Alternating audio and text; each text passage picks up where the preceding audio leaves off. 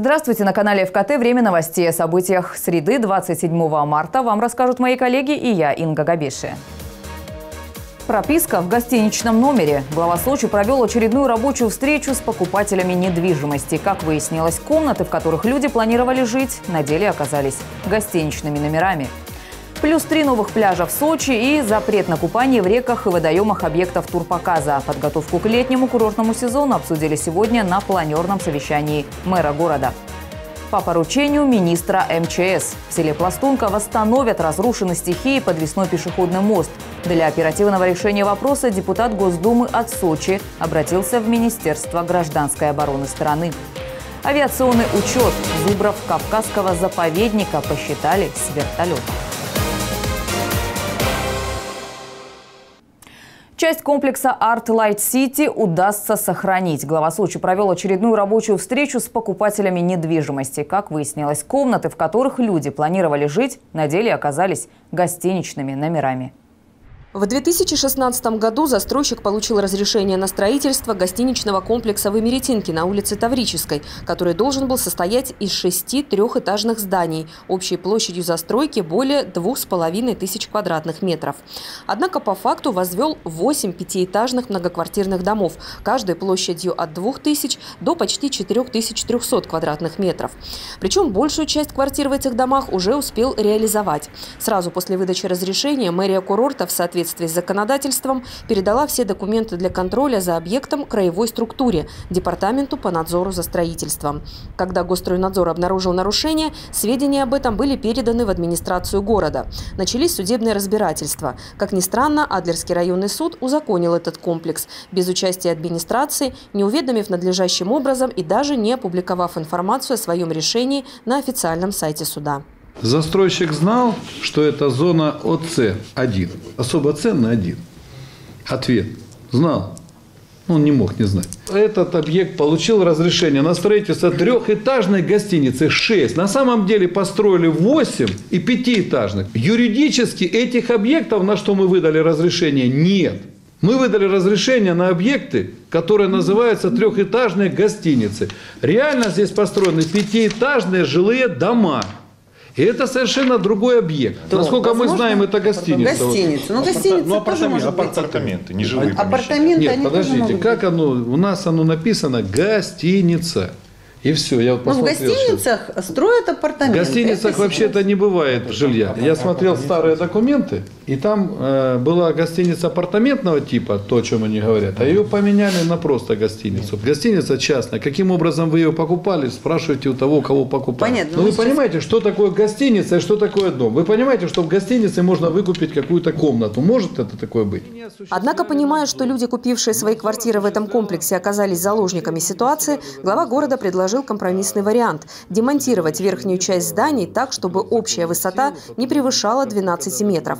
Рабочие встречи с обманутыми покупателями глава города проводит практически ежедневно. Решение об этом было принято менее двух недель назад на встрече с обманутыми покупателями в Доме культуры Центрального района. За это время глава уже пообщался с представителями девяти объектов. По большинству из них найдены пути решения проблемы. Переговоры о возможности избежать полного сноса самостроя в эмеретинской низменности ведутся мэрией только по тем домам, в которых застройщики успели продать помещение в период между судебными разбирательствами. Собственники зарегистрировали право и проживают там. Важное условие – безопасность объекта и наличие коммуникации. Галина Моисеева, телекомпания ВКТ. В Сочи началась подготовка к летнему сезону. Во всех районах курорта стартуют субботники и мероприятия по благоустройству. Также ведется отсыпка пляжных территорий и проводятся берегоукрепительные работы на реках. Эти и другие темы были озвучены в ходе планерного совещания главы города. Курортный сезон стартует 1 июня. На благоустройство всех улиц города два месяца. По итогам недавнего визита мэра в завокзальный район санитарный порядок во многих дворах оставляет желать лучшего. Это говорит о очень слабой работе главы района вместе с управляющими компаниями, да и не, с квартальными, потому что, ну, если есть такая территория, значит, надо принимать меры. Бытовой мусор выносят туда. И это сплошь и рядом – это ни одного двора мы там не нашли, чтобы не было. И естественно, что, Андрей Викторович, немедленно принимайте меры, вывозите весь этот мусор, приводить их... Мы не можем допустить, чтобы эта эпидемия, которую могут создать наши горе-жители, чтобы она еще и пошла на территорию других микрорайонов. Для нас это смерти подобно. Смерти подобно. Мы курортный город. Порядок должен быть не только во дворах, но и прежде всего в зонах гостеприимства. Касается это и торговых объектов. Все они должны быть приведены к единому облику. Наличие рекламы на фасадах и кричащие вывески недопустимо. Все должно быть в едином стиле. За иное размещение баннеров предприниматели ждут штрафы. Точно заплатить придется тем, кто по-прежнему, несмотря на запрет, сдает в аренду электрокары на Америтинской набережной. Велосипедная дорожка предназначена исключительно для двухколесных средств передвижения движения, другие же портят покрытие. Его ремонт теперь будет произведен за счет нерадивых предпринимателей. Еще одна проблема Эмеретинки – это сдача в аренду земель, оформленных исключительно под ИЖС. Многие жители сооружают в своих дворах объекты торговли или шашлычные. В мэрии создана рабочая группа. Она проверит все прибрежные улицы на предмет такой предпринимательской деятельности. Под особым контролем объекты торговли в Адлерском курортном городке. Первомайский суд города Краснодара оказывается, узаконил собственность, э, те павильоны, которые установлены в Адлер-курорте. Теперь мы восстанавливаем сроки, восстановили, да? И все сносим там. Причины для этого есть, нас никто не оповещал о том, что приняты такие решения. Вот. Восстановить все сроки и в судебном порядке снести эти все объекты. Начались работы по отсыпке пляжей и очистке русел рек. Кстати, впервые на курорте будет введен запрет на купание в реках и водоемах объектов турпоказа. Коснется это территории, где плавание вовсе не предусмотрено, и тех объектов отдыха, где не будет обеспечена безопасность на воде. Главы внутригородских районов должны установить на этих территориях аншлаги, запрещающие купание. До тех пор, пока на этих территориях не будет обеспечена безопасность, не будет проверено дно, не будет э, установлены спасательные вышки, дежурство спасателей, все, что предусмотрено 536 постановлением администрации Краснодарского края. Что касается пляжей, то, как подчеркнул глава курорта, свободный доступ должен быть на все, кроме федеральных и ведомственных. Кроме того, туалеты там должны быть бесплатными. В этом году появились три новых пляжа в Лазаревском районе, в Аше, Горном воздухе и Уч-Дере. Сейчас проводится конкурс среди арендаторов. Концепция внешнего облика пляжей будет прежней, а вот количество голубых флагов, то есть знаков международного стандарта, возрастет с 6 до 13. Отдельный вопрос на планерном Первом совещании был посвящен национальному проекту «Безопасные дороги», в рамках которого Сочи ежегодно будет получать 830 миллионов рублей на ремонт дорожного покрытия во всех районах. Каждый житель сможет внести свои предложения и проголосовать за улицы, где необходима замена асфальтового полотна на сайте администрации города. По результатам народного голосования в мае будет составлен список улиц, где ремонт пройдет до 2020 года. По такой же схеме дороги будут обновляться обновляться на протяжении пяти лет. Ну а сейчас дорожники займутся восстановлением путей, ведущим к кладбищам. Начинается подготовка к Пасхе. И всех сочинцев просят принять участие в наведении порядка на погостах. Татьяна Говоркова, Дмитрий Говорков, телекомпания «ФКТ». Города. От частных проблем до вопросов федерального уровня. К их решению в рамках региональной недели приступил депутат Государственной Думы Константин Затулин. Накануне он встретился с сочинцами. С какими вопросами обратились жители города к депутату, расскажем далее.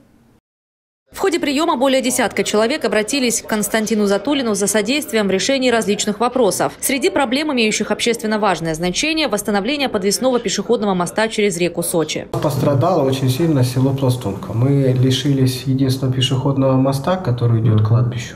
Угу. У нас подмыло берега. И в некоторых местах, вот там по фотографии мы подготовили, подошло вплотную к дороге. Как правило, такие вопросы решает муниципалитет путем введения режима локальной ЧС и выделения бюджетных денег на устранение ущерба. Однако мост не числится на балансе города. Для оперативного решения вопроса Константин Затулин связался с министром по делам гражданской обороны и чрезвычайным ситуациям. Остался метр до дороги.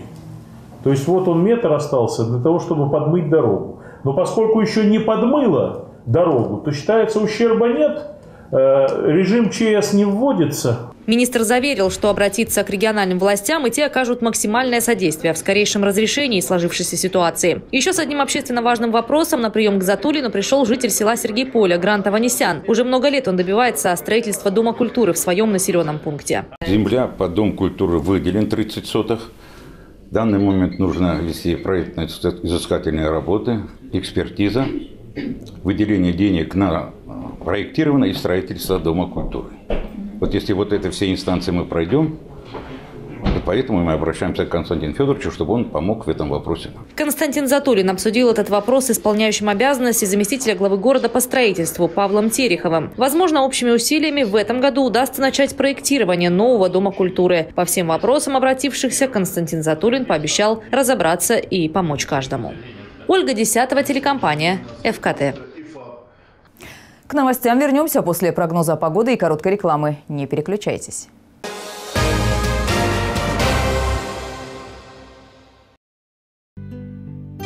28 марта в Сочи переменная облачность, временами дождь. Температура воздуха ночью плюс 6, плюс 8. Днем 8-10 градусов выше нуля. Весенние образы от французской фирмы «Эвелин Болеро». Модные наряды на новый сезон. Магазин «Дамский каприз», торговая галерея напротив Агропрома. Создай свой новый образ. Деловой или дерзкий. Эксклюзивные модели из новой коллекции французской фирмы «Эвелин Болеро» в магазине «Дамский каприз». Торговая галерея напротив Агропрома. Вытеснить контрафакт рыночными методами. Об этом сегодня говорили на заседании комиссии по противодействию незаконному обороту продукции. Совещание провел губернатор края. Одной из самых страдающих от подделок отраслей оказалась легкая промышленность. О том, как поддержат легальные компании, чтобы они полностью заменили своим товаром фальсификат, расскажут коллеги из Краснодара. Десятки упаковок с фирменными логотипами именитых брендов. В этих коробках спортивная одежда и обувь, которые торговали в краснодарском магазине. Всю продукцию изъяли полицейские. Полторы тысячи изделий оказались контрафактом. Ущерб от подделок для правообладателей превысил 6 миллионов рублей. Аналогичная ситуация в другой торговой точке. Правда, ущерб уже больше 20 миллионов рублей. Легкая промышленность сегодня один из лидеров по доле контрафакта на рынке. Как побороть фальсификат, сегодня обсуждали на заседании комиссии по противодействию противодействию незаконному обороту продукции. Венимин Кондратьев уверен, одними силовыми методами вопрос не решить. Нужны инструменты поддержки легальных производителей. Мы должны сегодня развивать свою легкую промышленность, и, понятно, либо внутри региона, либо наша отечественная легкая промышленность, которая должна сегодня э, ну, заполонить, если хотите, внутренний рынок э, аналогичными товарами вот в таком же ассортименте и по доступной цене. Вот что сегодня важно. Вот о чем сегодня переживаю. Насколько у нас легкая промышленность готова к тому, чтобы с аналогичным товаром э, абсолютно не почувствовали, чтобы покупатели заместить контрафакт и фальсификат. Давайте подумаем сегодня в рамках нашего региона, что мы можем сделать, чтобы наш малый и средний бизнес, который еще есть и занимается сегодня производством э, и пошивом одежды, все-таки ну, хоть как-то э, сохранил свой потенциал. И логика здесь понятная. Чем больше условий у легальных производителей, тем меньше шансов у незаконных. За счет объемов качественных товаров первые просто вытеснят контрафакт. Под легкую промышленность в регионе уже разработаны механизмы поддержки. Например, в Краевом фонде развития промышленности по приоритетным направлениям готовы выдавать кредиты под 1% на приобретение сырья и оборудования. В планах также создать кластер легкой промышленности в восточной промзоне Краснодара. Губернатор просит обратить внимание на школы и казачьи кадетские корпуса, малый бизнес вполне мог бы сотрудничать с ними по пошиву формы. Посмотрите, там, где явно муниципальные заказы и краевые государственные заказы. Вот там есть и, и кто поставщик услуг и товаров. Кто и откуда. И удивимся, наверное, я думаю, вместе с вами. А мы сейчас целиком руками разводим, говорим о каких-то больших стратегических задачах. Давайте с малого начнем и увидим, что вот тут как раз и, и нужна наша активная помощь и результат будет. А то наши казачата непонятно, кем пошитая форма, и, и еще из какого сукна, как говорится. Где его тоже взяли.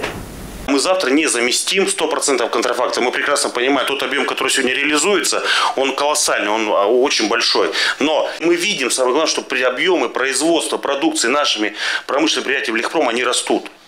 Потому что есть спрос, и действительно наши те же родители, которые покупают эту школьную форму, они не покупают эту стеклянную форму, которую привозят из республик Северного Кавказа непонятного качества. Они уже видят, что мы сегодня способны произвести собственное. Я с вами согласен, что школьная форма, на самом деле стеклянная, вы правильно назвали, она, она аж блестит непонятно на солнце. И такие детки ходят в такой одежде, в такой форме, поэтому должны сделать все, что на самом деле они ходили в нашей форме, в нашей, то есть которая шьется на территории края, понятными э, предприятиями, из понятного материала. Вот что сегодня важно. И так во всем. Достаточно, еще раз подчеркиваю, государственных заказов э, и не только на одежду, а по, всем другим направлениям, где мы можем четко поддержать нашего регионального производителя. Поддержать. И мы должны не стесняться это сделать. Но легкая промышленность не единственная отрасль, которая страдает от подделок. Серьезный удар получили кубанские производители цемента. Мешки с контрафактным веществом занимают почти четверть объемов регионального рынка. Ущерб экономики края – 1 миллиард рублей. Для защиты от незаконной продукции было предложено применять обязательную цифровую маркировку для строительных материалов. Обязательная маркировка поможет минимизировать объем контрафактной продукции. Мы в том году, одно из ваших поручений было инициировать это на федеральный уровень, на уровень государственной комиссии. Отправили эти предложения, включить в перечень товаров, которые подлежат маркировке, в частности, тарированный цемент. Новые стандарты разработают и для краснодарского чая. Все производители, использующие этот бренд, станут маркировать свою продукцию по-новому. Подписано соглашение по использованию советских стандартов в купажной смеси краснодарский чай, а именно 100% чайного листа, выращенного на территории Краснодарского края, теперь будет называться краснодарский чай букет. 75% краснодарского чая будет называться экстра. 60% краснодарский чай будет называться высший сорт и 40% краснодарский чай называться будет первый сорт. Это бренд сегодня Кубани, краснодарский чай. Но реально на рынке им сложно. Потому что как только бренд опять вернулся на свою высоту, его тоже начали подделывать. И достаточно активно подделывать. И поэтому те производители чая, которые сегодня наши производители чая в Сочи, и они тоже сегодня бьют тревогу о том, что они вложились в раскрутку бренда, а точнее в его возвращение на рынок. И тут же появляется подделка. Ну, коллеги, во-первых, это и нечестно, неправильно, но и так не должно быть. Давайте краснодарский чай защитим. Здесь впереди еще огромная работа, как сегодня на самом деле э, убрать вот этих всех фальшивопроизводителей и дать возможность настоящим сочинским чаепроизводителям выращивать свой чай, упаковывать и продавать добросовестная конкуренция должна быть. Вся работа должна быть направлена не только на то, чтобы пресечь появление контрафактных товаров, но и заменить их качественными кубанскими продуктами. Здесь необходимо слаженное взаимодействие всех ведомств, как исполнительной власти, так и правоохранительных органов. Однако формализма в работе быть не может, обратился к участникам совещания губернатор. У меня такое ощущение, что мы с вами собираемся первый раз. Мы каждый раз собираемся, каждый раз смотрим на эту проблему, Проходит год, мы снова встречаемся и снова примерно по такому же сценарию работаем. Мы создали комиссии в районах по борьбе с контрафактом. Комиссии работают успешно. Но если комиссии работают успешно, то и результат должен быть сбалансирована должна быть работа в том числе. Мы должны это продвигать отечественную продукцию, аналоги которые, которые являются контрафактом. То есть вот здесь, тут быть поактивнее тогда, тут поактивнее. Выдавливать нужно контрафакт. Может быть, даже не бороться с ним, а выдавливать. Но системной, качественной работой. Тогда экономика будет расти. Уже легальная экономика. Дополнительные меры поддержки кубанских производителей, работающих по закону, нужны, чтобы цена их продукции была конкурентоспособной. Например, в сфере легкой промышленности в крае уже разработана дорожная карта по легализации оборота товаров. Александр Иванченко, Денис Перец, Алексей Комаров, Кубань-24, Краснодар. Они помогают ветеранам, ухаживают за памятниками и могилами героев и берут шефство над трудными подростками. Сегодня в Краснодаре прошел съезд Союза казачьей молодежи. В зале собралась тысяча юных патриотов со всей Кубани, ученики казачьих классов и кадетских корпусов, а также студенты техникумов и училищ. В съезде принял участие и губернатор Вениамин Кондратьев. Глава региона отметил, для Краснодарского края казачество – это не только история, а еще и будущее. Поэтому участники юношеского объединения должны относиться к своему делу ответственно и не терять связи поколений. На сегодняшний день в казачьих классах и кадетских корпусах учатся около 83 тысяч ребят. Такое образование пользуется большой популярностью. Родители школьников просят организовать дополнительные классы буквально в каждом учреждении. Сейчас в Союзе состоят более 95 тысяч человек. Как рассказывают участники юношеского движения, казачье объединение помогает им реализовывать свои проекты, проявлять лидерские качества и находить новых друзей. Напомню, учредительный съезд прошел в сентябре 2017 года. Тогда был подписан протокол о создании регионального общественного движения. А в Сочи волонтерский центр провел день открытых дверей. В ряды добровольцев ждут всех желающих в возрасте от 14 лет. Новичков готовы принять и волонтеры серебряного возраста. О пользе и характере добровольческой деятельности на курорте расскажет Татьяна Говоркова. Хотите быть полезным обществу и проявить себя? Тогда вам прямая дорога в волонтерский центр. Здесь обучают и дают возможность представителям всех возрастов делать добро, вести интересную и активную жизнь и самореализовываться. Жизнь Екатерины Плехановой стала намного ярче с тех пор, как она вошла в ряды добровольцев. Сначала тестовые соревнования в 2012-м, теперь европейские игры. Недавно Катя вернулась с Красноярской универсиады. Волонтерство стало для нее важной частью жизни.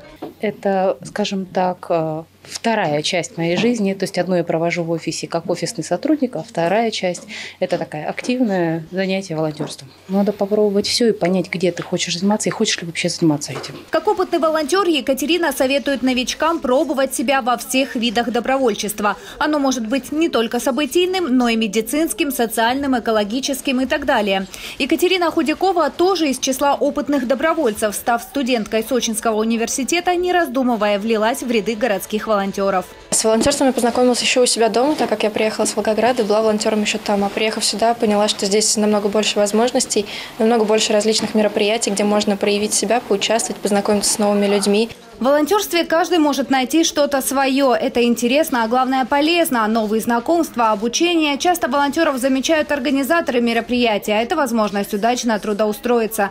Есть возможность у добровольцев и получить гранты на реализацию своих проектов. С 2010 года проводится всероссийский конкурс «Доброволец России». Участники могут представить свои социальные проекты в 12 номинациях, продемонстрировать свои творческие работы и заявить о себе на всю страну. В этом году прием заявок стартовал стартовал 20 марта и продлится до 16 июля. Все подробности можно узнать, посетив Центр волонтерства на улице Советская. Дни открытых дверей проводятся каждый вторник и четверг с 16 часов. Здесь можно записаться в ряды волонтеров и стать участником интересных мероприятий. Буквально на это воскресенье полумарафон, да, куда мы набираем ребят. Впоследствии у нас большой хоккей, Еврочеллендж, да, то есть мы тоже также ведем открытый набор. Ну и, соответственно, это и в том числе социальное волонтерство, да, то есть мы сейчас сейчас прорабатываем вопрос с нашими больницами, особенно с нашей детской больницей. Мы хотим сделать такие дни волонтерства, когда будет приходить туда, будет приходить туда возможность нашим гражданам и какую-то активность проводить с детьми, чтобы лежание в больнице, да, тот, тот период, который они проводят в больнице, был для них более радостным. Мы надеемся, что это поспособствует их а, наиболее быстрому выздоровлению. Сейчас ведется набор волонтеров, проект по подключению к цифровому телевидению. Добровольцы будут помогать пенсионерам и всем, кто не может самостоятельно самостоятельно подключить к телевизору приставку. Уже началась и активная подготовка волонтеров к 9 мая. Традиционно перед праздником Победы они посещают ветеранов, общаются с ними и оказывают бытовую помощь. Ближе к лету добавятся экологические акции. В уголке Венчегова и на площадке Дерева Дружбы пройдут субботники. На территории города мероприятия по раздельному сбору мусора. Впервые в этом году волонтеры окажут помощь по охране природы в нацпарке. Татьяна Говоркова, Алексей Давыдов, телекомпания «ФКТ». 31 марта на трассе Формулы-1 пройдет полумарафон. А сегодня было подписано соглашение о проведении в Сочи легкоатлетических забегов федерального значения в ближайшие пять лет. Соглашение подписали власти курорта и организаторы ежегодных забегов. В нашем городе Сочи-марафон проводится с 2014 года. Сейчас поставлена цель достичь большего количества участников. Мы, конечно, вместе с, со всеми организаторами, Минспортом, Минкурортами, Минразгонки и, конечно, э, значит, акционерное общество «Высшая лига» ставит перед собой задачу увеличить к 2025 году, а именно на этот срок рассчитан наш договор, число участников этих ежегодных масштабных забегов вместе взятых ну, в течение года до 20 тысяч человек. А наше отношение, конечно же, только положительное.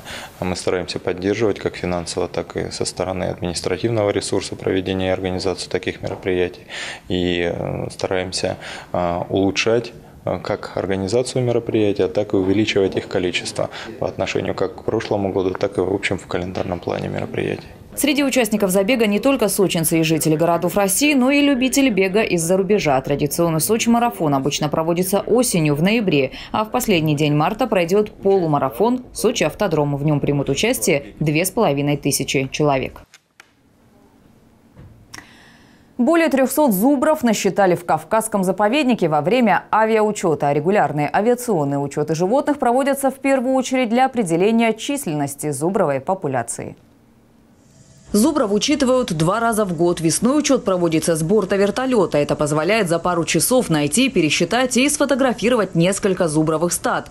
Учет зубров проводится на расстоянии 300 метров от животных с помощью оптической фототехники. Полные результаты по численности ученые заповедника получат после расшифровки фотографий. Тогда же более точно подсчитают число животных, самцов, самок и телят. Но уже сейчас можно сказать, что всего специалистами учтено порядка 300 особей, что в среднем выше обычного является хорошим показателем. В целом сегодня число зубров превышает 1100 особей. Впервые с 1989 года. Однако их поведение и популяционные особенности заметно изменились. Зубры стали в большей степени животными открытых пространств высокогорий и в меньшей степени связаны с лесом. Изучить причины таких изменений – отдельная задача для науки. К слову, практика авиаучетов крайне нужна заповеднику и помогает получать такие данные о зубрах, какие возможно получить никаким другим способом.